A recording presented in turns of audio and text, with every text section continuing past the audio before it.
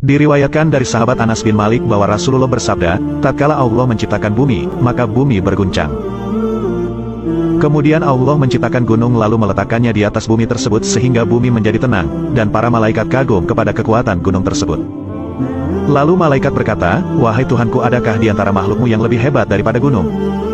Allah menjawab, ia adalah api. Adakah yang lebih hebat daripada api wahai Tuhanku? Allah menjawab, tentu ada, ia adalah air. Mereka masih bertanya, adakah yang lebih hebat daripada air?